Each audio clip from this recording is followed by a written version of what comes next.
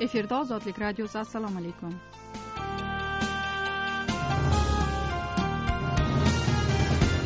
Toshkentda soat sakkiz bugun uchinchi may seshanba. Ozodlikda kechki jonli eshittirish taqdimoti bilan hurmat bobojon va barno anvar.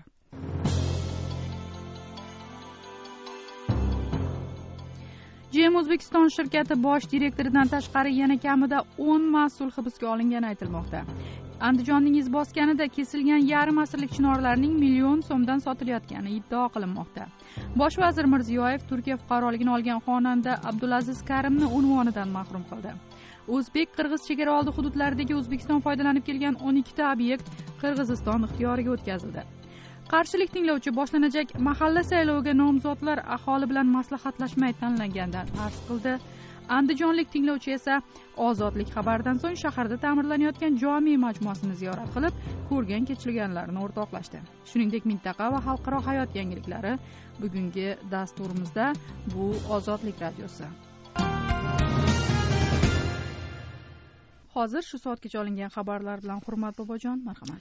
Rahmat assalomu alaykum. Noma'lum qurollilar afg'onistonning o'zbekistonga tutash bo'lgan qaldor chegara postiga hujum qilgan. Afg'oniston askarlari bo'lgan ikkita E, postga dushanba kuni qilingan hujumda hech kim talofat ko'rmadi. Afg'on politsiyasi hujum qilganlar tolibon jangarilar bo'lgani ular kunduz viloyatidan kelganini taxmin qilmoqda.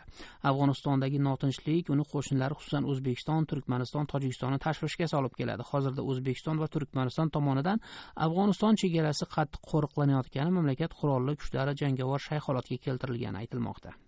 O'zbekistonda o'ttiz yarim ming gektar sug'oriladigan yer paxtadan bo'shatilib u yerda meva va sabzavot yetishtirish rejalanmoqda. Bu haqda o'zbekiston iqtisod vazirligi rasmiylari seshanba kuni ma'lum qildi. Ularga ko'ra paxtadan bo'shagan ekin maydonlarida avvalo sabzavot va kartoshka shular qatorida ozuqa ekinlari yog' moy olinadigan va boshqa o'simliklar ekiladi bog' va uzumzorlar barpo etiladi. O'tgan hafta o'zbekiston prezidenti islom karimov moskvaga safari davomida o'z mamlakati g'arb sanksiyalari ostida qolgan rossiyaga meva va sabzavot zavod eksportini oshirishga tayyorligini va'da qilgan edi.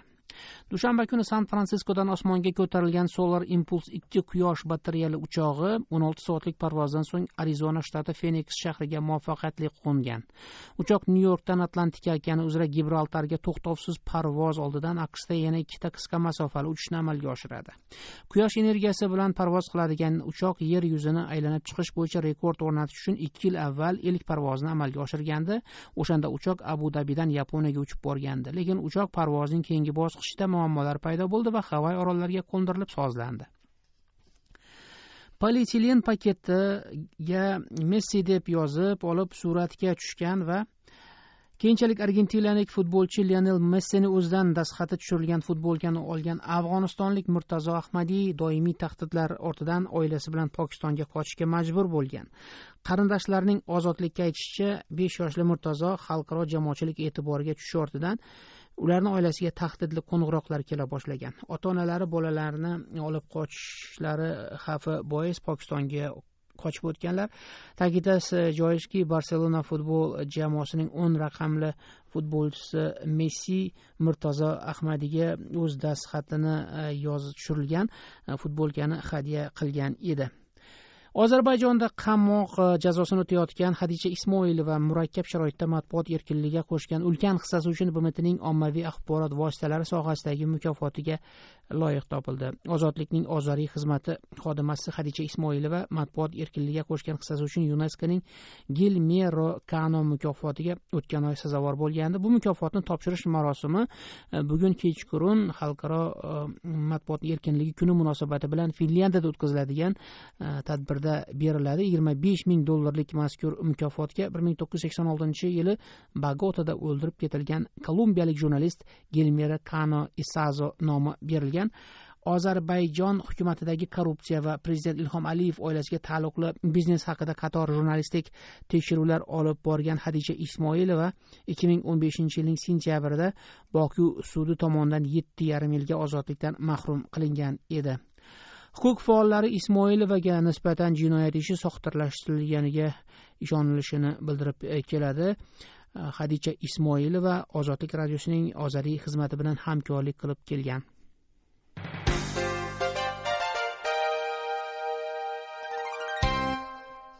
Ozodlikda xabarlar bilan tanishdingiz.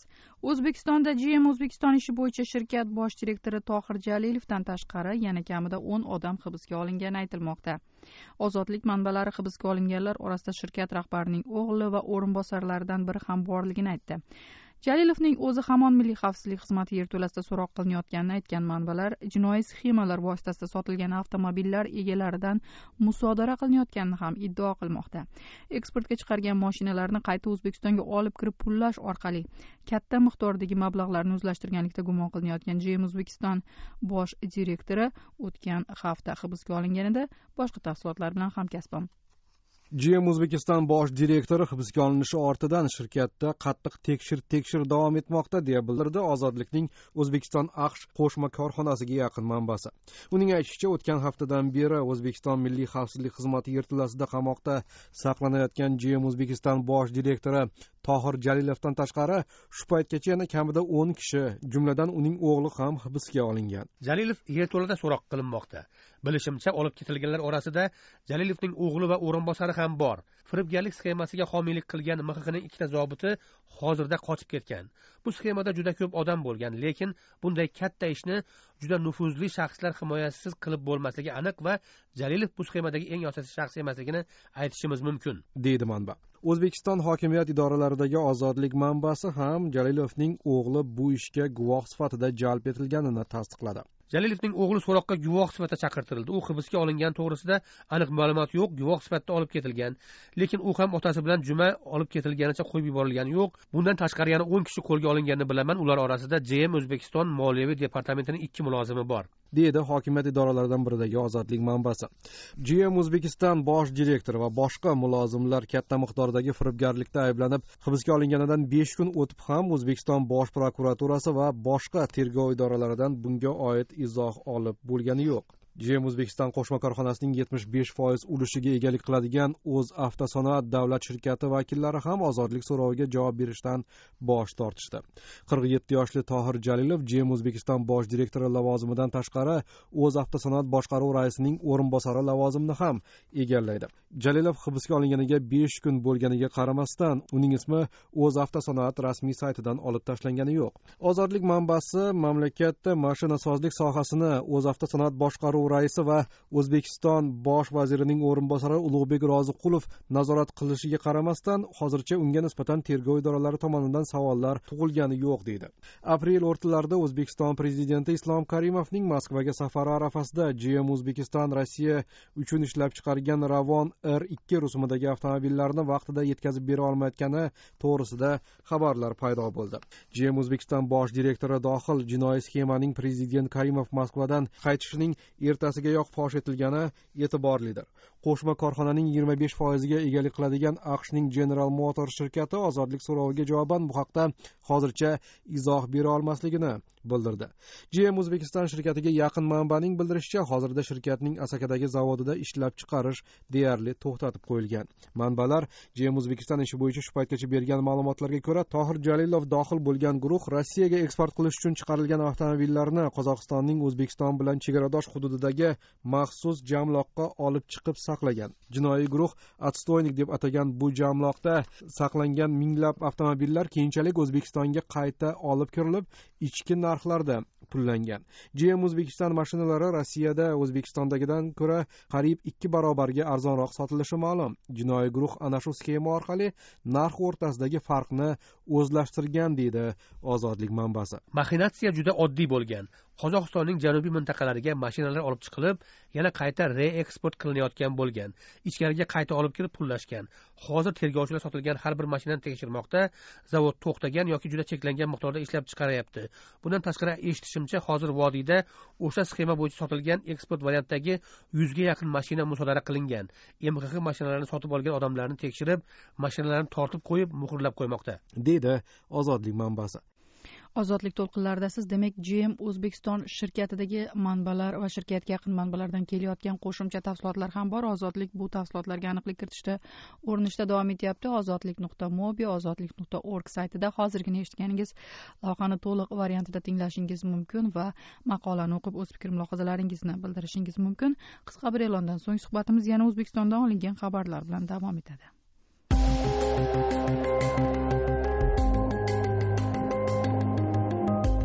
Yangilik faktdir. Har qanday fakt savollar tug'diradi. O'sha savollarni kunning faktlari tug'diradigan savollarni men ozod nazar mehmonlariga beraman. Sizni o'ylantirgan tilingizning uchida turgan savollar javobini begim kunlarda ozod nazardan kuting.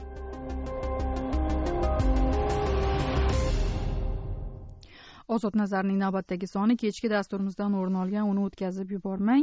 Izbosganda kesilgan yarim asrlik chinorlar bir million so'mdan pullanayotgani iddao qilinmoqda. Andijon viloyati izbosgan tumanida chinorlar kesilmoqda. Kesilgan chinorlarni mahalliy hokimiyat tadbirkorlarga pullayotgani aytildi. Tadbirkorlar esa chinorlarni piloramadan o'tkazib xom ashyo sifatida toshkentdagi mebel ishlab chiqaradigan fabrikalarga sotayotgani iddao qilindi.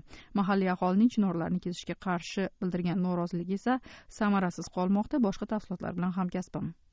Andijon viloyati izboskan tumani hokimi ulug'bek abdullayevning buyrug'i bilan chirmash azimov ko'chasida joylashgan ellik ikki yillik chinorlar kesila boshlandi. Bu haqda ozodlikka xabar bergan izboskanlik manbaning aytishicha mahalliy hokimiyat odamlarning noroziligini ham hisobga olmayapti.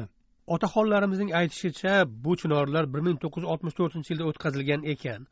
Hozir ularning har biriga ikki kishining ham qulochi yetmaydi. Yozning jazirama issig'ida ko'cha bo'ylab yuradigan odamlarning joniga oro kiradigan chinorlar ediya bular. Kesishni boshlagandan so'ng mahalladagi otaxonlar chiqib kesmaysanlar deb norozilik bildirishdi. Lekin kesuvchilar ularning gapini pisand ham qilmay ishlarini davom ettirishaverdi shu paytgacha ko'chadagi yuzdan ortiq chinorlarning yarmi kesib olindi. Dedi manba. Chirmash azimov mahallasida istiqomat qiladigan otaxonlardan birining ozodlikka aytishicha bu chinorlarni kesishdan maqsad uni pullash bo'lgan. Kecha shu chinorlarni sotib oladigan odamni topdik. U shaxsiy piloramasi bor dilshodbek ismli tadbirkor bola ekan. Dilshodbekning aytishicha chinorlar kesilmasidan oldin har bir chinorga u bir bir yarim million so'mdan pul to'lab qo'ygan ekan. U chinorlarni piloramasida taxta qilib toshkentdagi mebel fabrikalariga sotar ekan. Dedi izboskanlik otaxon. Ozodlik bu masalaga munosabat olish maqsadida izboskan tumani hokimligi bilan bog'landi. O'zini hokim yordamchisi biloliddin deb tanishtirgan mulozim chinorlarni kesish hokimiyatning qarori bilan yo'lni kengaytirish maqsadida amalga oshirilayotganini aytdi. O'zbekistonda mebel ishlab chiqarishga ixtisoslashgan tadbirkorlardan birining aytishicha mebel korxonalari chinor va yong'oqni rossiyadan olib kelinadigan qarag'aydan uch baravar qimmatroqqa sotib oladi. Chinor va yong'oq qimmatroq turadi. Rossiyaning sasnasi ya'ni qarag'ay bir kub metri uch yuz dollar turadi. Yong'oqning bir kubi ming bir ming ikki yuz dollar bo'ladi. Chinor kamida to'qqiz yuz dollar. Yasin ya'ni shumtol sakkiz yuz dollar bir kubi. Chinorning qimmatligi uning sifati bilan bog'liq. To'g'ri quritib ishlov berilsa juda mustahkam bo'ladi. Teksturasi ham juda chiroyli bo'ladi. Narxi ham shunga yarasha. Deydi tadbirkorlardan biri. O'zbekiston shahar va qishloqlarida bir necha yuz yillik chinorlarning kesilishi so'nggi bir necha yilning hodisasiga aylandi. Bu holat esa yozda chinor soyasi va chiroyiga o'rganib qolgan o'zbekistonliklar e'tiroziga sabab bo'lmoqda. Ayniqsa so'nggi bir necha oy ichida toshkentning bir necha dahasida chinorzorlarning yo'q qilinishiga qarshi mahalliy aholi keskin norozilik bildirgan edi. Ozodlikdasiz. Demak chinorlar kesilayotganiga oid navbatdagi xabaringiz bosgandan keldi. Bu yerda yarim asrlik chinorlar kesilayotgani va hatto bir million so'mdan pullanayotgani ham iddao qilinmoqda. Toshkentda chinorlar kesilishiga qarshi esa ijtimoiy tarmoqlarda keyingi paytlarda kuzatilmagan ko'lamdagi keng aksiya bo'lgan edi. O'sha ijtimoiy tarmoqdagi faol foydalanuvchilar bunga o'z noroziligini bildirgan edi. Marhamat saytimizga kirib bu boradagi lavhalarimiz bilan to'liq tanishishingiz mumkin. Taniqli xonanda va kompozitor o'zbekistonda xizmat ko'rsatgan artist abdulaziz karimning unvonlari o'zbekiston bosh vaziri talabi bilan bekor qilindi. Bunga xonandaning turkiya fuqaroligini olgani sabab qilib ko'rsatildi.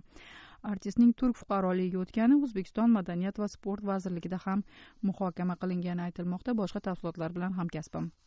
O'zbekiston vazirlar mahkamasidagi yig'ilishda so'zga chiqqan bosh vazir shavkat mirziyoyev turkiya vatandoshligini olgan xonanda abdulaziz karimni vatan xoini deb atab uni barcha unvonlardan mosuvo qilinganligini aytgan. O'zbek navo estrada birlashmasi o'zbekiston madaniyat va sport vazirligi xodimlari va san'atkorlar ishtirok etgan bu majlisda qatnashgan toshkentlik mulozim ismoil tirmaslik sharti bilan ozodlikka ayrim tafsilotlarni aytib berdi. Ikki haftacha oldin vazirlar mahkamasida majlis bo'ldi. Majlisda shaxsan shavkat miromonovich qatnashdi. Majlis boshida har xil mavzularga tegib o'tildi. Oxirida asosiy mavzu o'zbekistonda xizmat ko'rsatgan artist abdulaziz karim haqida bo'ldi. Abdulaziz karim turkiya fuqaroligini olgani bo'yicha juda katta noroziliklar bildirishdi. Uni hattoki vatan xoini darajasiga chiqarib qo'yishdi. Turkiya bosh vaziriga e'tiroz bildiramiz. Nega bizning unvoni bor san'atkorimizni fuqarolikka qabul qiladi degan har xil gaplar ham bo'lib o'tdi. Abdulaziz karim ikki minginchi yilda olgan nihol mukofoti va ikki ming uchinchi yilda olgan o'zbekistonda xizmat ko'rsatgan artist unvonlari shaxsan mirziyoyev tomonidan olib tashlandi. Deydi o'zbekiston madaniyat va sport vazirligi mulozimi? Manbaning aytishicha bosh vazir tomonidan qo'shiqchilarning pogonini yulish tadbiri birinchi marta bo'layotgani yo'q. ikki ming o'ninchi yilda shavkat mirziyoyev xo'ja guruhi solisti izzat ibragimovning o'zbekistonda xizmat ko'rsatgan artist unvonini olib qo'ygan edi. Izzat mustaqillik bayrami dasturining repetitsiyasiga bormagani uchun jazolandi. Keyin izzat o'rtaga kazo kazolarini qo'yib yalinib yolvorib unvonini qaytarib olgan edi deya eslaydi suhbatdosh. Ozodlik muxbiri bu borada izoh so'rab o'zbeknavo estrada birlashmasiga qo'ng'iroq qildi. Ma'rufjon deb tanishtirgan mulozim bu ma'lumotni izohlay olmasligini aytib go'shakni ilib qo'ydi. Ozodlikka ma'lum bo'lishicha abdulaziz karimning turkiya vatandoshligini olgani o'zbekiston madaniyat va sport vazirligida ham muhokama qilingan. Bu majlisdan keyin o'zbeknavo estrada birlashmasi turkiyaga ketayotgan xonandalarga talablarini chandon kuchaytirgan. Endilikda turkiyaga bormoqchi bo'lgan xonandalar ham tegishli idoralardan xususan smdan ruxsat olishlari lozim.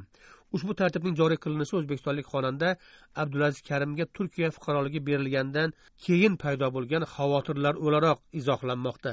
Madaniyat va sport vazirligi e'lon qilgan o'zbekiston xalq artistlari ro'yxatidan hukumat artistlarni istalgan va istalmaganlarga ajratganini sezish mumkin.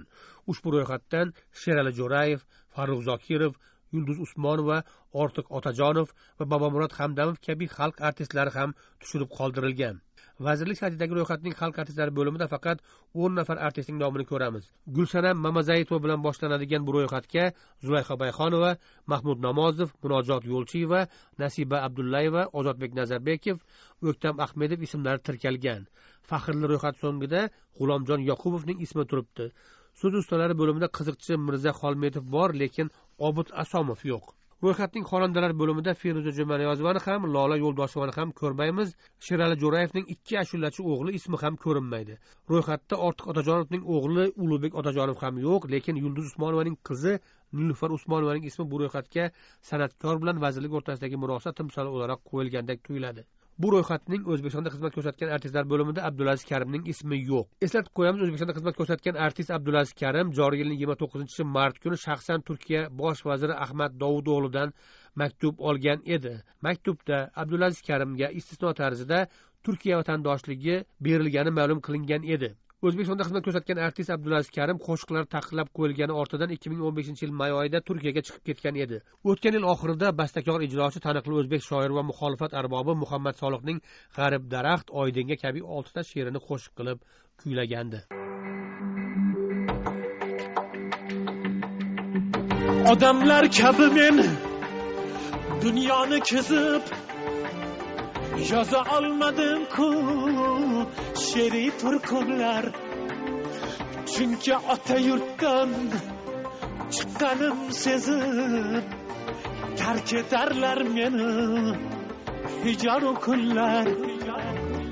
Odamlar kabi men dunyoni kezib yoza olmadim ku she'riy turkumlar chunki ota yurtdan chiqqanim sezib tark etarlar meni.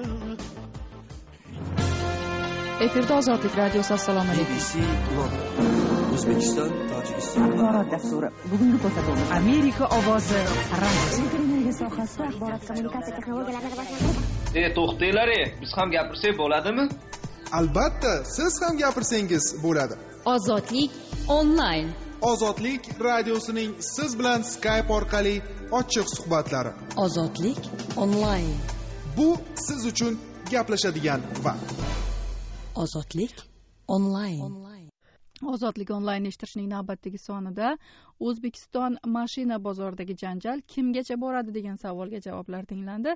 Hoziroq veb saytimizga kirsangiz ushbu eshittirishni tinglab tomosha qilishingiz mumkin yoki youtubedagi ozodlik radiosiga ozodlik radiosini toping. O'zbekiston foydalanib kelgan o'n ikkita obyekt qirg'iziston ixtiyoriga o'tkazildi. Bu haqda uchinchi may kuni qirg'iziston hukumatining chegaralarini aniqlash bo'yicha mutasaddisi qurbonboy iskandarov ma'lum qildi. Uning bildirishicha mazkur obyektlar orasida o'zbekiston foydalanib kelgan neft quduqlari gaz omborlari va suv zaxiralari bor. Demak bu obyektlarga oid boshqa tafsilotlar bilan elmurod. Qirg'iziston hukumatining chegaralarini aniqlash bo'yicha mutasaddisi qurbonboy iskandarov uchinchi may kuni o'zbekiston foydalanib kelgan yigirma obyektdan o'n ikkitasi to'lig'icha qirg'iziston ixtiyoriga o'tkazilganini ma'lum qildi. Qirg'iz rasmiysining bildirishicha bugungi kunda issiqko'ldagi o'zbekistonga qarashli to'rt pansionatni qirg'iziston ixtiyoriga o'tkazish bo'yicha ishlar olib borilyapti. Mart oyining oxirlarida qurbonboy iskandarov o'rta to'qay o'zbekistonda kosonsoy deb ataladi va karkidon suv omborlari katta namangan chust norin so'x shohimardon lagan savay kanallarini o'zbekiston ixtiyoridan qirg'izistonga qaytarish bo'yicha ishlar boshlanganini bildirgan edi. Rasmiyning aytishicha bu kanallardan sho'rolar davrida ham mustaqillikdan keyin ham o'zbekiston foydalanib kelgan. Lekin bu obyektlar joylashgan hududlar qirg'iziston yerlari hisoblanadi. Degan uchastkalarni bari bizdan so'rab olgan vaqtinchalar. Mana shu yerni berib turiblar biz foydalanib o'zbekiston bu yerlarning barchasini sho'rolar davrida vaqtincha foydalanish uchun so'rab olgan edi. Bu boradagi barcha hujjatlar bizda mavjud. O'zbekiston burgandi massividagi gaz ombori va to'rtta neft chiqargan quduqni bizga o'tkazib berdi dedi qurbonbay iskandarov. Qirg'iz rasmiysidan o'zbekiston foydalanib kelgan suv zaxiralaridan qaysilari bugungi kunga kelib qirg'iziston ixtiyoriga o'tkazilgani haqida aniq ma'lumotlarni olish imkoniyati bo'lmadi. Ayni paytda o'zbekiston o'zbekiston suv bilan bog'liq obyektlarning o'ziga tegishli ekani to'g'risidagi hujjatlar mavjud ekanini bildirgan. Toshkent ayniqsa kosonsoy va kampir obod suv omborlari o'zbekistonga tegishli ekanini bu obyektlar to'lig'icha toshkent ixtiyoriga o'tkazilishi shartligini talab qilib keladi. Kosonsoy va kampir obod suv omborlari farg'ona vodiysidagi ekin maydonlarini suv bilan ta'minlovchi asosiy zaxira hisoblanadi. Qurbonboy iskandarov qirg'iz tomoni o'zbekistonning bunday talabini asossiz deb hisoblashini bildirdi. To'qson ikkinchi yilgi kelishimni negizida bizga o'tib ketish kerak avtomatik o'shal obyektlar qirg'izistonniki deb turib kelishimga qo'l qo'yganda prezidenti. bir ming to'qqiz yuz to'qson ikkinchi yilgi shartnoma asosida bu obyektlar allaqachon bizga o'tishi shart edi. O'zbekiston prezidenti bir ming to'qqiz yuz to'qson ikkinchi yilgi shartnomada bu obyektlar qirg'izistonniki ekanini tan olgan va uni imzolagan. O'zbekiston parlamenti esa bu shartnomani ratifikatsiya qilib bergan. Dedi qurbonboy iskandarov. Qirg'iziston o'zbekiston tomonidan foydalanib kelingan o'n olti obyektni bishkek ixtiyoriga o'tkazish uchun ikki ming birinchi yildan beri harakat qilib keladi. Faqat joriy yilda bishkek rasmiylari o'n olti obyektdan o'n ikkitasini qirg'iziston nomiga hujjatlashtirishga muvaffaq bo'lgan. Qolgan obyektlar ayniqsa kosonsoy va kampirobod suv omborlari haligacha ikki davlat o'rtasida bahsli bo'lib qolmoqda. Joriy yilning to'rtinchi aprelida esa qirg'iziston bosh vaziri issiqko'ldagi o'zbekistonga tegishli tegishli to'rt pansionatni bishkek ixtiyoriga o'tkazish to'g'risidagi qarorni imzolagan. Bugungi kunda pansionatlarni qirg'iziston nomiga hujjatlashtirish ishlari davom etmoqda. Qirg'iziston hukumati toshkent tomonidan qurilgan va o'zbekiston foydalanib kelgan obyektlarga tovon puli to'lanmasligi haqida bayonot bergan. Elmurod ozodlik radiosi bishkek. Javobsiz savolning o'zi yo'q. O'zingizni qiynayotgan savollarni ozod javobga yo'llang. Mutaxassislar yordamida unga javob izlaymiz. Savollaringizni telegram viber va whatsapp orqali plyus to'rt yuz yigirma yetti yuz yigirma to'rt to'qqiz yetmish bir besh yuz o'ttiz to'qqiz raqamiga yo'llang. Savol sizdan javobi bizdan.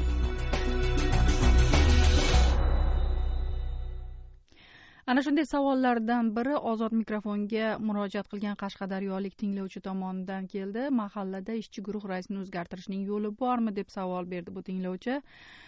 Qarshi shahridan bog'langan va ismini oshkor etishni istamagan bu tinglovchiga ko'ra o'zbekistonda may iyun oyida bo'ladigan mahalliy saylovlarga tayyorgarlik jarayoni qoniqarli bormayotir. Uning arzicha mahalla oqsoqolligi raislik uchun nomzodlar aholi bilan aholi maslahatisiz tanlangan. Ularni tanlagan ishchi guruhning raisi esa yillardan buyon o'zgarmay kelayotgan ayni shaxsdir.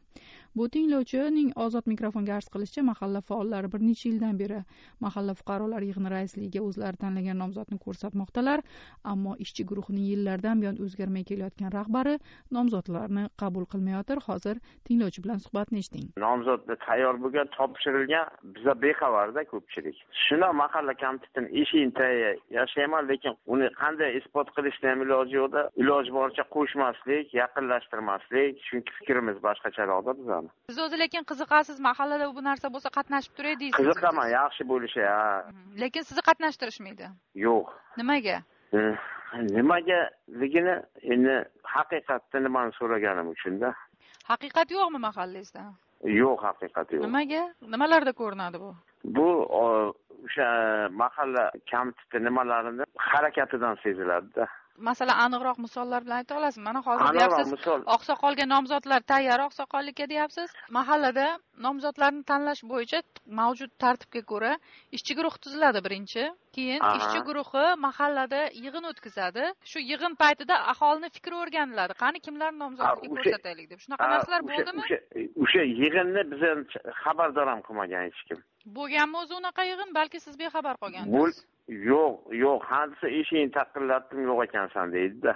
O'zi yig'in bo'lgandir balki yo bo'lmaganmi? E bilmayman man xabarim yo'q lekin nomzodlar qo'yilgan nomzodlarni taniysizmi bittasini taniyman o'sha ishlab turgan raisni u necha marta saylangan u kishi? U kishi ikki marta saylangan uchinchi marta ketyapti. Yana shahar sovetiga deputat bo'lganlar ham biza bexabar xuddi shu mahalladan. Endi ho'p mayli bexabar qolyapman. Nomzodlarni biz ko'rsatmadik dedi yo mani emasda bitta man bo'lsam bitta mani eshigimni taqillatdim ochmading deydida. Misol uchun bitta mani eshigimga beshta odam bor mayli siz ko'rsatmabsiz nomzodni. Lekin o'zi qanaqa ishlaydi mahallani oqsoqoli? Mahallani oqsoqolidan bitta man emasda bitta man bo'lsam jim yuruvdim yana ikkita uchta kishi norozi bo'lib chiqqanda kim o'ziga yoqsa o'sha bilan qanday muomala qiladi? Yon atrofiga misol uchun kriminallarni yig'ib olgan nima xato qilsa ham aytsangiz unisi yopilib ketaveradi hech kim ko'rib chiqmaydi o'g'irlik lekin yopib yuboriladi. Tuhmat. Mani o'zimni misol uchun balkim sudgacha olib bordi tuhmat bilan posboni san yozuvchisan deydi. Lekin sudga normalniy sudga chiqib qoldi isbotlanmadida. Endi mahallaga chiqdinglar deylik. Bu nomzoddan norozimiz. Deb balkim o'zinglar qanaqadir nomzod ko'rsatgandirsizlar. Qanaqa javob bo'ldi sizlarga? Endi u nomzod ko'rsatganimizdan qo'rqqandan qochib ketdi. Uni unga boyagi komissiyani mahallani komissiyasi borku raisi bir eski byurokratda poltexnika kollejini direktori edida. O'sha endi mani oldimda aytyapti sani erkin fikring yo'q san yaramaysan damkimlikka komissiyani bitta raisini o'zi tashkiliy mahallada komissiyani tashkil raisi nima deyiladi o'sha? Komissiyani rais shunaqa deb yuboryaptida u faqat shu har safar shu nima saylanganda shu qonun tomonidan mumkinmi? Shu ishchi komissiya raisi o'tgan safar ham shu bo'lgan oldingi safar ham nimani saylasa ham deputatlikka saylaganda ham shu. E, bu qanday? Чисто teatrda barini o'zinikini yig'ib o'ziga anavi nimalar endi birontasi normal odamda emas to'g'risida man xarakteristika bersamda agar qashqadaryo viloyatining qarshi shahridan bog'langan bu tinglovchi mahallada uning kabi norozi yana bir necha kishi borligi ular birgalikda yuridik yordam istayotganini aytmoqda. Ozodlik nomi oshkor qilmayotgan bu mahalladagi faollar bilan suhbatlashib kelgusida bu murojaatni kengroq o'rganish harakatida yangiliklarni ushbu to'lqinda yoki veb saytimizda kuzatib boring. Shu o'rinda esa eslatib o'tamiz demak may va iyun oylarida o'zbekistonda mahalliy E, mahalla fuqarolar yig'ini raislari va ularning maslahatchilari saylanadi. Demak to'qqiz ming yetti yuz oltmish to'rtta oqsoqol va to'qson to'qqiz mingdan ortiq maslahatchi saylanishi e, ma'lum qilingan.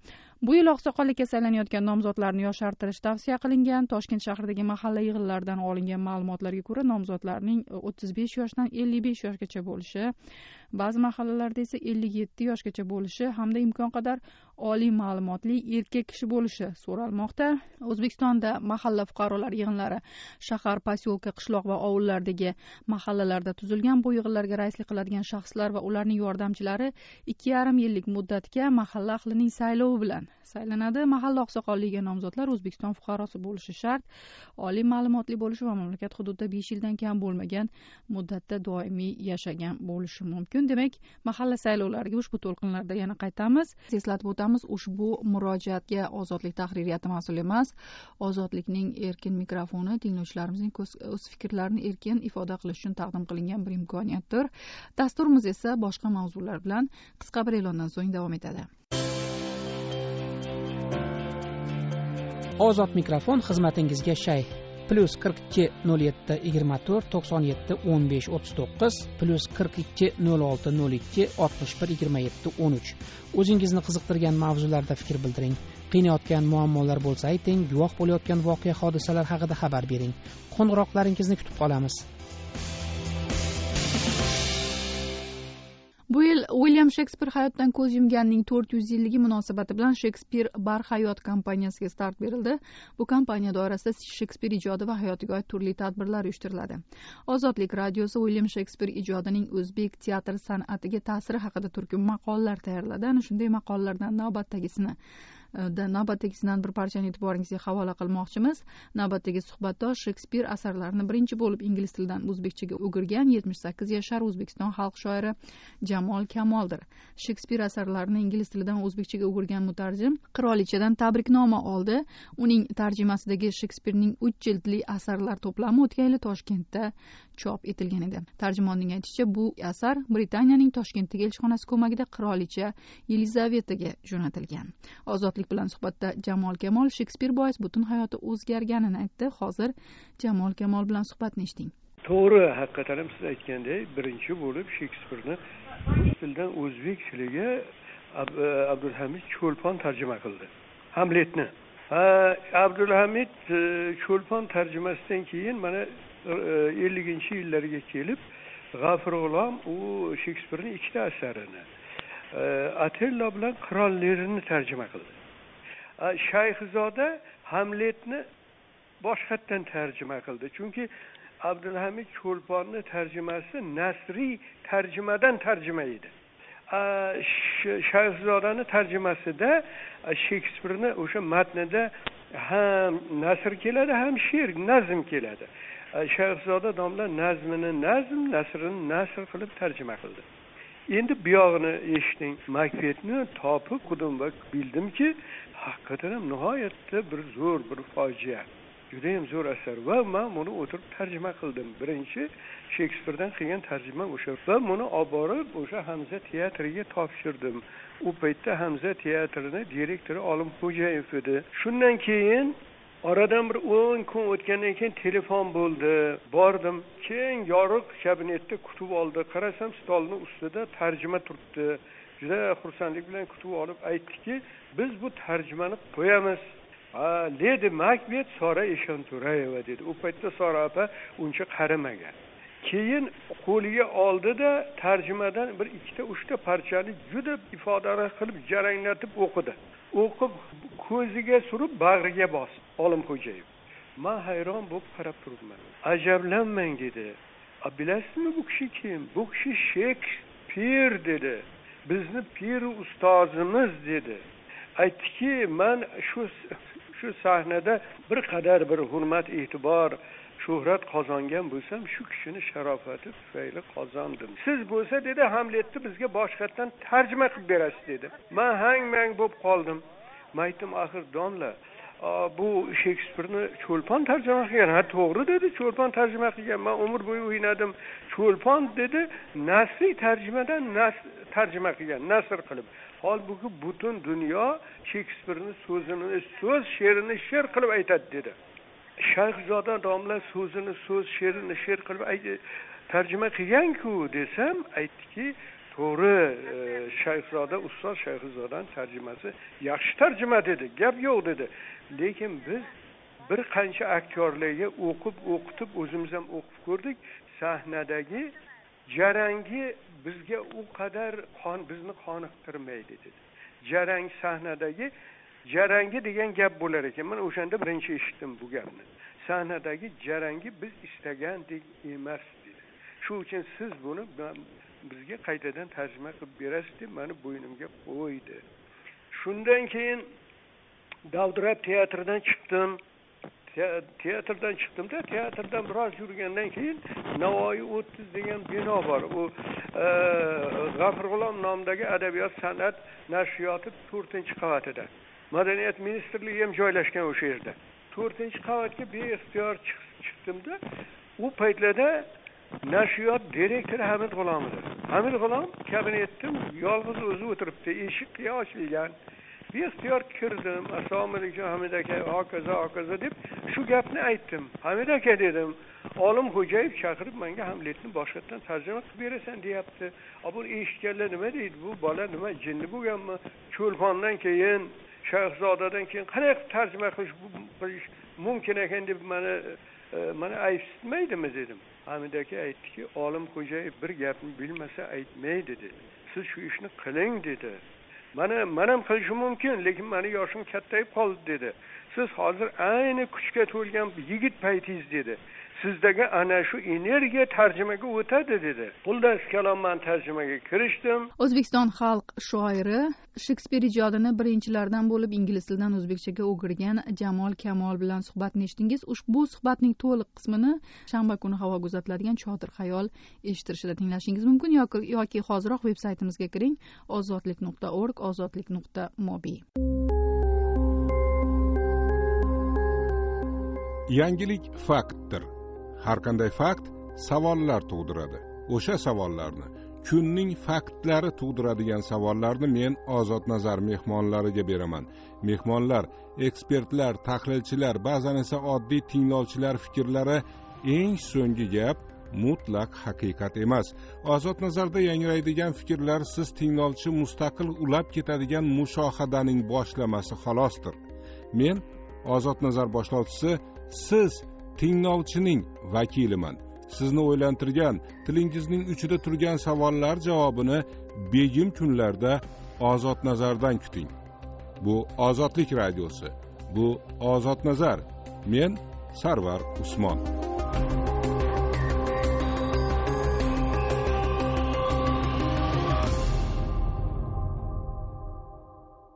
ozodlik to'lqinlarida siz endi esa ozod nazar eshittirishni tinglashga taklif qilamiz. Undan kunning muhim voqealariga siyosatshunos kamoliddin rabbimovning nuqtai nazari o'rin olgan marhamat.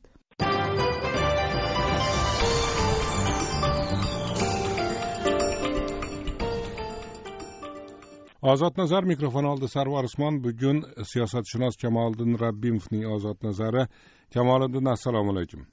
Assalomu alaykum. Uchinchi may kuni o'zbekistonni qo'shnilari bilan aniqrog'i qo'shnisi bilan qirg'iziston bilan munosabatlariga doir bir yangilik keldi. Qirg'iziston hukumatining chegaralarni aniqlash bo'yicha mutasaddisi qurbonboy iskandarov uchinchi may kuni o'zbekiston shu paytgacha foydalanib kelgan yigirma obyektdan o'n ikkitasi to'lig'icha qirg'iziston ixtiyoriga o'tganini ma'lum qildi. Buni ichida kanallar bor ekan suv omborlari bor ekan va e, qirg'iz tarafini aytishi bo'yicha bu qirg'izistonni mulki va shu paytgacha o'zbekiston o'sha qirg'izistonga tegishli bo'lgan mulkdan foydalanib kelgan. Hozircha o'zbekistonni qandaydir bir reaksiyasi yo'q lekin boshqa bir voqeani eslaydigan bo'lsak masalan to'rtinchi aprelda qirg'iziston bosh vaziri issiqko'ldagi o'zbekistonga tegishli to'rt pansionatni e, qirg'iziston e, davlati tasarrufiga o'tkazganiga ham bir reaksiya bildirmaganini eslaydigan bo'lsak yoki siz bilasizmi reaksiya bo'lganmi? Yo'q men xabarim yo'q. Demak bunga ham reaksiya bo'lmaydi. Nega? Sizga savol. Ha bu yerda bir qancha nuqta bor birinchisi bu e, umuman e, ikkita davlat modeli boshqaruv modeliga to'xtalsak ikkinchisi ikkinchi nuqta bu geosiyosiy to'qnashuv chiziqlari. Uchinchisi ikki jamiyat o'rtasidagi bir biriga yig'ilayotgan munosabatlar. Mana e, qirg'iziston markaziy osiyoda ozmi ko'pmi demokratik transformatsiyaga harakat qilayotgan davlat. Albatta qirg'iziston demokratiyasi o'ta marginal demokratiya. Э, qirg'iziston aholisi uning tajribasi hali to'laqonli demokratiyaga imkoniyat bermaydi va bu holatdan u uzoq. Lekin ayni paytda qirg'iziston jamiyati e, mana shu bir qancha inqiloblardan keyin qo'liga ma'lum bir erkinliklarni kiritdi va mana shu erkinliklarni qaytadan davlatga hokimiyatga yoki qudratli shaxs va guruhlarga berib qo'yish niyati yo'q. Ya'ni qirg'iziston jamiyatida bundan keyin hokimiyat to'laligicha markazlashuvi ancha qiyin bo'ladi. Lekin o'zbekiston markazlashgan hokimiyat qattiq markazlashgan va shaxs bitta shaxs atrofida e, e, nima deydi bog'langan bir avtoritar model va shuning uchun ikkita hokimiyatning u yoki bu masaladagi fikrlashi va xatti harakati bir biridan kardinal farq qiladi. Qirg'izistonda e, o'sha jamoatchilik fikriga o'sha o'yin qilish yoki hokimiyatni vaziyatni to'laqonli nazorat qila olmaganligi uchun parlament deymiz jamoatchilik deymiz. Mana shu e, xatti harakatlar orqali u yoki bu muammolarni o'zining manfaatlarini e, o'zbekistonga bosim qilish orqali yoki boshqa qo'shni davlat mana xuddi shunday tojikistonga ham va ba'zan e, qozog'istonga ham mana shunday bosim qilish orqali kerak bo'lsa shantaj qilish orqali o'zining manfaatlarini qondirish holati bu ko'p kuzatilyapti ya'ni aytmoqchi bo'lganim birinchi nuqtada o'zbekiston hokimiyati bunday masalalarda o'ta ehtiyotkor. Oddiy mulk masalasi turibdida bu yerda mulk masalasi. Yoki yoki o'sha siz aytyapsiz o'zbekcha model o'sha bir kishiga bog'langan deyapsiz. O'sha bir kishi prezident karimov e'tibor bermaguncha pastdagilar e, bu masalani mustaqil yechishga harakat qilishga hayiqsalar kerakda yo'q yo'q unday emas. Men o'ylaymanki o'zbekiston e, davlat organlari birinchi o'rinda o'sha kuch ishlatlar tizimlari prezident devoni maxsus o'sha e, mutasaddi bo'lgan e, prezidenti davlat maslahatchilari va jumladan islom karimov ham e, vaziyatdan boxabar albatta. Bexabar qolishi mumkin emas mana bunday katta jiddiy masalalarda. Chunki gap o'zbekistonning strategik manfaatlari to'g'risida ya'ni uning mulklari uning hududlari to'g'risida gap ketyapti. Agar qirg'izistonga bugungi kunda yon bosiladigan bo'lsa unga indamaydigan bo'lsa va osonlikcha o'sha o'zbekiston mulklarini qirg'iziston xususiylashtiradigan bo'lsa qirg'iziston keyinroq ikkinchi qadamni uchinchi qadamni qo'yadi. Lekin o'zbekiston hokimiyatining ehtiyotkorligi qo'rquvi zamirida bir qancha omillar bor. Aytganimdek ehtiyotkorlikmi qo'rquvmi? Ikkalasi ham ikkalasi ham. Ha qo'rquv bo'lsa ehtiyotkorlikni xo'p tushunaylik. Qo'rquv bo'lsa nimadan qo'rquv ha mana shunga kelyapman. Demak e, o'zbekiston va qirg'iziston davlat chegaralari postsovet hududidagi eng konfliktli geosiyosiy to'qnashuv chiziqlari deyishimiz mumkin. Biz bilamiz qirg'iziston odkb ya'niki kollektiv xavfsizlik shartnomasi a'zosi. Uni ustiga mana yaqinda putinning yangi iqtisodiy ittifoq loyihasiga kirib bordi va o'sha mana bakiyev davridagi undan oldingi akayev davridagi va qisqa muddatli o'sha ro'za otunboyeva davridagi geosiyosiy balansdan to'laligicha voz kechildi va amerika loyihalari amerikaning o'sha harbiy bazalari boshqa bir e, loyihalar hammasi yopilib to'laqonli rossiya tasarrufiga o'tdi qirg'iziston. Mana bu hozirgi e, almazbek atambayev davrida. Va rossiyaga nisbatan kutish holati yuqori. Э, va ayni paytda rossiya tomonidan qirg'izistonning manfaatlari va xavfsizligini ta'minlash bo'yicha ma'lum bir kelishuvlar mavjud. O'zbekiston qo'rqadiki ertaga mobodo o'zbekiston qirg'iziston o'rtasida davlatlararo to'qnashuv yoki muammo bo'ladigan bo'lsa tashabbusni moskva qo'liga olishi mumkin va geosiyosiy manfaatlardan kelib chiqib nisbatan mustaqilroq bo'lgan yoki nisbatan g'arb manfaatlariga e, nima deydi og'ishayotgan geosiyosiy manfaatlarga og'ishayotgan o'zbekistonga bosim qilishi mumkin degan qo'rquv rasmiy toshkentda juda ham kuchli. Ha endi bir ikki yil oldin bir ikki yil oldin esingizda bo'lsa o'zbekiston prezidenti juda katta ketib qo'ygan ediku. E, suv bilan bog'liq masalalar urushgacha olib borishi mumkin mintaqada deb. Xuddi shunday bu o'sha qirg'izistonga tahdid yoki bir bosim qilishga e, harakat edi.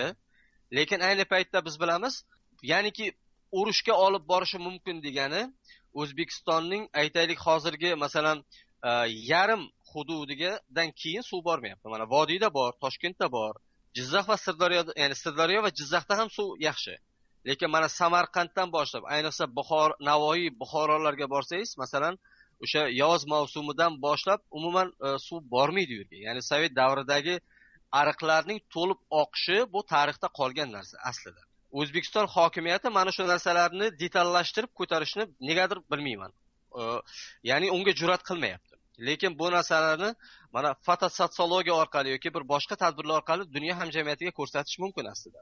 Lekin o'zbekiston hokimiyati qirg'izistonga bosim qiladi ayni paytda rossiyaning aralashuvidan rossiyaning bosimidan qo'rqqanligi uchun bu narsalarda ehtiyotkorlik yoki qo'rquv orqali o'zini tegib turibdi. Demak yana eslatay e, bugun uchinchi may kuni qirg'iziston hukumati vakili aytdiki e, shu paytgacha o'zbekiston foydalanib kelayotgan qirg'izistondagi yigirmata obyektdan o'n ikkitasi to'lig'icha qirg'iziston ixtiyoriga o'tkazildi dedi va mana shu voqeaga demak toshkent na ertaga na indinga na bir haftadan keyin qandaydir bir reaksiya bildiradi. Э, bilasizmi menimcha e, rasmiy toshkentning o'zini stili bor. U rasmiy toshkent jamoatchilik fikriga e'tibor bermaydi yoki o'zining qilayotgan ya'ni o'ylayotgan o'y fikrlarini va qilayotgan xatti harakatlarini yashiradi. Ya'ni rasmiy toshkent ko'proq yopiq kanallar orqali ishlashni o'ziga joiz deb biladi. O'ylaymanki e, rasmiy toshkent albatta qirg'izistonga signallar bergan o'zining e, pozitsiyalarini bildirgan. Lekin qirg'izistondagi vaziyat bizda mavjud emas. Ya'ni qirg'izistonda ozmi ko'pmi o'sha erkinliklar bo'lganligi uchun hamma narsa o'sha e, jamoatchilikka tezda ma'lum bo'ladi. Lekin rasmiy toshkent o'sha o'zining kanallari orqali qirg'izistonga ma'lum bir balkim bosimlardir balkim e, preferensiyalardir kelishuvlardir shu narsaga harakat qilayotgan bo'lishi aniq. Lekin ma'lum bir muddatdan keyin albatta o'zbekistonni pozitsiyasi ma'lum bo'ladi. Lekin bu pozitsiya rasmiy toshkent uchun o'ta muhim aslida. Va ma'lum bir muddatdan keyin o'ylaymanki biz bilamiz rasmiy toshkentni qanday xatti harakatlar qilganligini qilayotganligini. Nazariy jihatdan e, qabul qilish mumkin. Sizni hozir bergan izohingizni lekin amalda biz bilamizki aynan shu qirg'iziston bilan bog'liq munosabatlarda demoqchiman hal qilishga harakat qilayotganini sezilmayapti. Men bu gapni aytarkanman so'xni nazarda tutayapman o'sha uch yil oldingi janjaldan beri so'xliklar juda qiynalyapti. O'zbekistonga kelib ketishi o'zbekistonni asosiy qismiga kelib ketish masalasi bor. Shu yo'l uzoq qisqa yo'l yopiq uzun yo'ldan qatnashyapti va shuni shuni ortidan boshqa problemalar. Qator qator qator. Shu masalani shu masalani hal qilishda masalan toshkent bishkek bilan muzokaralar o'tkazgani to'g'risida xabar yo'q. Birinchidan agar o'tkazgan yashirin o'tkazgan bo'lsa ham demak muvaffaqiyatli bitmagan chunki problema hanuz turibdi. Bilasizmi demak ikki ming ikki ming ikkinchi yillarda strategik tadqiqotlar institutida ishlaganimda o'sha so'x e, tumanida bir hafta yotib ishlaganmiz va u yerdagi vaziyatni aynan bir qancha sotsiologik metodlar orqali o'rgangandik. Vaziyat o'sha paytda o'ta achinarli edi. Lekin mana undan beri vaziyat og'irlashsa og'irlashdi yengillashgani yo'q. Bu yerda bir qancha muammolar bor. Birinchisi bu qirg'iziston davlatchiligi bilan ham bog'liq bu ikkinchisi o'zbekiston davlatchiligi bilan ham bog'liq. Odatda avtoritarizm diktatura e, dunyo hamjamiyatida unga nisbatan ya'ni avtoritarizmga nisbatan diktaturaga nisbatan salbiy jamoatchilik fikri shakllanganligi uchun o'zining eng fundamental manfaatlarini himoya qila olmay qoladi. Mana saddam husayn bo'lsin boshqa bo'lsin hattoki o'zining davlatini ichida o'zini himoya qila olmay qoladi ma'lum bir muddatdan keyin. Lekin agarki jamoatchilik global jamoatchilik fikri o'sha davlat to'g'risida ijobiy bo'lsin amerika bo'ladimi fransiya bo'ladimi yoki e, bir demokratik e, insonparvar siyosiy tizim deb qaraladigan bo'lsa tashqi dunyoga intervensiya qiladigan bo'lsa ham uni ko'proq tushunish bilan qabul qilish holatlari juda yam ko'p. Mana bu o'zbekistonning bugungi kundagi fundamental muammosi. Reputatsiya masalasi reputatsiya masalasi. Bu birinchisi. Hmm. ikkinchisi qirg'izistonda aytganimdek markazlashgan davlat mavjud emas. Har to'rt yil besh yilda davlat ag'darilib turibdi. Aholini to'laqonli nazorat qila olmaydi. Ya'ni davlatni hokimiyatni hurmat qilish holati ham qirg'izistonda past. Ya'niki bu bir tomondan demokratiyaga o'xshaydi lekin o'ta bir marginal demokratiya va o'ta bir marginal davlatchilik. Bu qirg'izistonning fundamental muammosi. Bir necha marta so'x masalasida kelishildi. Imkon qadar o'sha yo'llar masalan davlat darajasida kelishildi. Man bilaman vaqtida jo'rabekov bu masala bilan shug'ullangan edi. Ismoil jo'rabekov. Ikki davlat o'rtasida e, aqayev davrida ham kelishuvlar bo'lgandi. Mana o'rtada koridorlar berish. Lekin qirg'izistonda bir necha inqiloblar bo'ldi va har safar aholi yo'lni to'sib oladi nima qiladi? Hech narsa qilib bo'lmaydi. Aholini qirg'izlar u hukumat uni tartib o'rnata olmaydi otib tashlay olmaydi boshqa qila olmaydi. Mana bu qirg'izistonni muammosi. Qozog'iston bilan chegara masalasi hal bo'lgan a qozog'iston bilan men o'ylaymanki asosiy mutlaq asosiy qismi hal bo'lgan. Endi qozog'istonda e, xuddi o'zbekistonga o'xshab juda ham markazlashgan qudratli va ayni paytda juda ham boy bo'lgan davlatchilik shakllanib bo'ldi markaziy osiyoda masalan jamiyatning davlatdan ko'ra ustunligi kuzatiladigan yagona davlat bu qirg'iziston. Jamiyatning davlatdan ko'ra ustunligi kuzatiladigan yagona davlat. Lekin qolgan davlatlarning barchasida davlat ya'ni hokimiyat va hukumat birlamchi jamiyatning ustida. Yo'q endi men qozog'istonni so'raganimki mana qirg'iziston bilan e, chegaralar hanuz bir aniq tiniq nuqtaga kelgani yo'q. Qozog'iston bilan e, juda tezda E, bu masala hal bo'lganini ba'zi kuzatuvchilar o'sha korrupsiya aralashgan shu bu masalaga ham deyishadi. E, bo'lishi mumkin. Ikkita davlat o'rtasida endi balkim korrupsiya aralashgandir lekin o'sha ikkita avtoritar shaxsning avtoritar hokimiyatlarning kelishuvi albatta oson bo'ladi. Agarki o'rtaga jamiyatlar aralashsa jamiyatda birlik bo'lmaydi. Jamiyatda har qanday har xil ziddiyatli ko'z qarashlar manfaatlar bo'ladi. Va mana bu yerda chigallik paydo bo'ladi. Xuddi shu chigallik qirg'izistonda paydo bo'ldi. E, shu kunlarni yana bir mavzui toshkentda o'tkazilishi kutilgan kechagi kungacha kutilgan va bugun inkor etilgan barhayot polk tadbiri. Mana shu masalaga siz qanday munosabat bildirasiz? Men kechagi suhbatdoshimdan so'radim e, o'sha barhayot polk tadbiri o'tkaziladigan bo'lsa siz ham yaqiningizni portretini ko'tarib o'sha o'sha aksiyaga qatnashgan bo'larmidingiz deb so'radim. Kecha keling sizdan ham so'ramoqchiman. Sizga ham bermoqchiman shu savolni. Qatnashgan bo'larmidingiz agar o'tkazishsa? meni vazifam ya'ni vaziyatni tushuntirish yoki ya'ni simpatiya antipatiya emas imkon qadar xolis hokimiyatni jamiyatni jamiyat a'zolarining E, moyilliklarini tushuntirib sharhlab berish. Shuning uchun sizni savolingiz bu ko'proq siyosatchilarga e, taalluqli. E, men hokimiyatning mana shu masaladagi pozitsiyalarini tushuntirishga harakat qilishim mumkin. Ha ho'p ho'p kechagi xabarimizda muxbirimiz o'sha barhayot polk aksiyasini uyushtiruvchilari bilandan biri bilan suhbatlashgan va o'sha kishi aytuvdi toshkent shahar hokimligi ruxsat berdi deb. Barhayot polk tadbiriga bugun paydo bo'ldi toshkent shahar hokimiyati saytida o'sha kuni to'qqizinchi may kuni o'tkaziladigan tadbirlar orasida barhayot polk aksiyasi yo'q deb xullas inkor etdi. Bu bu kutilgan holat edi men uchun ya'ni e, bu yerda bir qancha nuqtalar bor. Agar e'tibor bersangiz o'sha to'qson birinchi yildan beri o'zbekiston hokimiyatining ichki siyosatdagi asosiy e, faoliyati mafkura sohasida madaniyat sohasida zehniyat sohasida bu sovet merosi bilan jiddiy kurash liniyasi. Ya'ni sovet davridagi shaxslar sovet davridagi o'sha e, haykallar bo'lsin arxitektura bo'lsin bularning hammasi bilan fundamental kurashuv markaziy osiyoda eng kuchli bo'lsa kerak menimcha o'zbekistonda. E, ya'ni o'zbekistonda bugungi o'sha sovet davrini eslatuvchi elementlar imkon qadar qoldirilmadi. Metroning nomlaridan toki shaharlargacha qadar. O'zbekiston tarixida juda ham ijobiy rol o'ynagan ya'ni o'zbekiston ssr tarixida ijobiy rol o'ynagan shaxslarning nomlari ham yo'qotildi. Yoki karimovga shaxsan karimovga ma'lum bir vaqtida preferensiyalar qilgan munosabatlari iliq bo'lgan yoki karimov o'sha davrlarda katta karyera qilgan mana sharof rashidov bo'lsin abdulaziz komilov hozirgi tashqi ishlar vazirimiz o'sha sharof rashidovni sobiq kuyovi yoki sayyora rashidova karimov bilan ancha uzoq muddat ishlashdi. Lekin mana sharof rashidovga nisbatan ham davlatning liniyasi o'sha liniyada qolyapti. Ya'ni sovet merosini tak tubi bilan yo'qotish. Bu birinchi yo'nalish. Ikkinchisi o'zbekiston hokimiyati ichki siyosatda qadriyatlarni o'rnatish odamlardagi hissiyotlarni yo'naltirishda monopoliya o'rnatib olgan va mana shu monopoliyani voz kechishni xayoliga ham keltirmaydi. Agar bugun biror bir shaxslarga tashkilotchalarga u rossiya parast bo'lsin amerika parast bo'lsin ularga ochiq e, bir imkoniyat bersa demak qolganlarga ham imkoniyat berish kerak. Va hokimiyat uchun bu qabul qilib bo'lmas bir holat.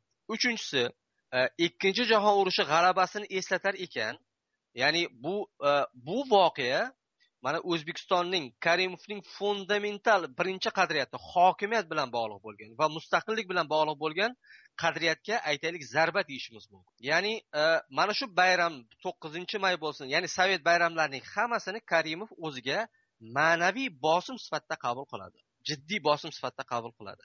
Va bu orqali rossiyaning qadriyatlari manfaatlari va sovet ittifoqini bilan bog'lash rossiya bilan bog'lashga urinish deb qabul qiladi. Va shuning uchun mana bu masalaga ham e, yo'q deyishga moyillik haddan tashqari kuchli. Va to'rtinchisi hokimiyatning ehtiyotkorligi. Nima uchun? Uzil kesil bunday narsalarga yo'l qo'ymaymiz deb shiddat bilan aytilmadi. Sababi oddiy. Yana o'sha moskvadan ehtiyotkorlik ya'niki e, moskvaning g'azabini chiqarmasdan ohista. Lekin ichkarida albatta qaror men o'ylagandim qaror qabul qilingan hech qanday hech kimga ruxsat bermaydi. Faqat buni sekin emi jimida bosdi bosdi shov shuv qilmasdan nima qilish? Voz kechish. Mana rossiya elchixonasi georgiy lentalarni tarqatyapti. Bu narsaga ham rasmiy toshkent hokimiyat o'ta bir e, nima deydi? G'azab bilan aslida qaraydi. Lekin bu g'azabni imkon qadar yashirishga sekin ohista o'zining fuqarolariga etnik ruslar bo'lsin boshqalar bo'lsin rossiya elchixonasi bo'lsin mana shu sekin ohista o'zining e, noroziligini yoki o'sha g'azabini sekin bildirishga harakat qiladi degan fikrda edim xuddi shunday bo'lyapti endi fikr sizni fikringizga illyustratsiya tariqasida tinglovchilarimizga e, albatta bu voqeadan xabardor tinglovchilarga eslatib qo'ymoqchiman. Masalan pushkinni e, haykalini ko'chirilishidagi ehtiyotkorlik ohistalik. Ha mana mana qaranglar mana shu viloyat hokimlarini yoki juda ham katta amaldorlarni ishdan olishda ham yoki pushkinni haykalini e, joyidan ko'chirishda ham. Ya'ni bosqichma bosqichlik bu karimovning tafakkuridagi fundamental bir e, nima deydi? Xususiyat deyishimiz mumkin. Ya'ni birinchi pushkinni e, haykalini ikkinchi darajali joyga ko'chiriladi yana olti oydan keyin yana uchinchi darajali joyga ko'chiriladi va oxirida uni metallomga topshirib yoki eritib yuboriladi. Yoki katta lavozimdagi shaxsni ham o'sha e, lavozimdagi turgan joyiga o'rinbosar qilib qo'yiladi keyin uzoqroq joyga yuboriladi va oxiri olti oydan keyin ustidan jinoiy ish qo'zg'atilib sekin e, uni resurslari shaxslar. Ya'ni karimovni tafakkuridagi o'sha bosqichma bosqichlik va ehtiyotkorlik hamma masalada seziladi lekin yoki yoki vazir bo'lgan odamni qaysidir bir viloyatni tumanidagi kollejga o'qituvchi qilib qo'yadi. oxirida agarki agarki o'sha e, nima deydi uni qamash yoki o'sha qattiq nima deydi qora ro'yxatga tushmagan bo'lsa. Ya'ni u uchun e, bu tirik qolish ya'niki yaxshi bu litseyga yoq bu yoqqa direktor qilib qo'ysa endi kunni ko'rib yuraveradi teginmanglar degan bir narsa bu aslida. Ya'ni mana shu geosiyosiy ehtiyotkorlik e, o'ylaymanki e, mana bu masalada ham ko'rinyapti. Lekin agar esingizda bo'lsa to'qson to'qson olti to'qson yettinchi yillargacha yo balkim to'qson beshinchi yilga qadar o'zbekistonda to'qqizinchi may g'alaba kuni edi. Lekin o'shanda karimov e, konseptual qarashni o'zgartirgan ediki intervyusi esimda. U aytdiki ikkinchi jahon urushi e, o'zbekiston mustamlakachiligini yana yarim asrga cho'zib yubordi. Agar e, o'sha ikkinchi jahon urushida sovet ittifoqi yoki parsiyalanib ketganda yoki mag'lubiyatga uchraganda biz ancha ertaroq mustaqil bo'lardik degan bir fikrni aytgandi. Va shundan bayramning statusi motam statusiga aylantirilgandi ya'ni xotira va qadr xotira va qadrlash kuni. O'lganlarni xotirlash tirik qolganlarni qadrlash. Lekin bu bayram emas aslida. Va shundan kelib chiqib hamki mana bu yerda barhayot polk yoki georgiy lentalarga o'zbekiston hokimiyati albatta ruxsat bermaydi. Tamom tushunarli. Rahmat kamoliddin. Ho'p rahmat salomat bo'ling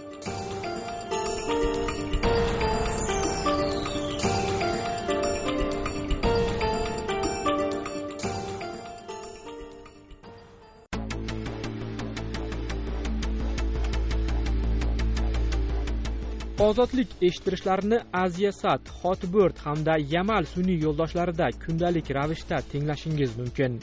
Aziyasatda toshkent vaqti bilan ertalabki yettidan to'qqizgacha kunduzgi o'n uchdan o'n to'rtgacha hamda kechki o'n yettidan yigirma ikkigacha. Hotbirdda toshkent vaqti bilan ertalabki yettidan to'qqizgacha kunduzgi o'n uchdan o'n to'rtgacha hamda kechki o'n yettidan yigirma ikkigacha. Yamal sun'iy yo'ldoshida toshkent vaqti bilan ertalabki yettidan to'qqizgacha kunduzgi o'n uchdan o'n to'rtgacha hamda kechki yigirma birdan yigirma ikkigacha.